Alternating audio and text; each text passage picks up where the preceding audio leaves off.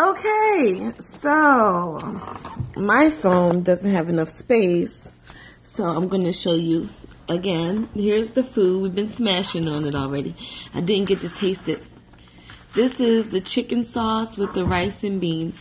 Oh, the way the sauce is usually made, the chicken is usually like clean with lime juice or something, and um, it'll be marinated in a seasoning called epis, which is like a bundle of parsley, an onion, a couple bell peppers, a couple hot peppers, some chicken bouillon cube, some uh, bundle of green onions um, will go in there, a whole buttload of garlic, fresh garlic. It all gets minced up with oil or pulverized in a blender and that is like one of the basic seasonings that goes on most Haitian dishes like in soups and the base for like the seasoning when you marinate your meat and stuff like that in Haitian cooking.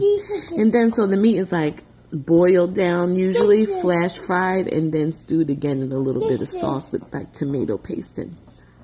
Dishes. It's very delicious. Dishes. It really is. Okay, so we've been eating it. Dishes. Both of these platters together came to about 24 bucks after taxes and everything. This is the legume. Gonna taste it. It's very juicy and flavorful. Really good over rice. And this is the kind of veggie dish that's for people that might not love vegetables because it has so much flavor from the meat that's like brick broken down and stewed into it. So much flavor and it's so juicy. To put it over some rice, you forget it's vegetables. It's so good. Okay. The chicken you see on my plate is just some carcass. So the chicken is good. I mean, it's chicken. Um, the key is you gotta have the onions and you gotta have some juice. And little pickles is also really good with it. And So this amount of food is what's left after feeding me, Asher, and my husband.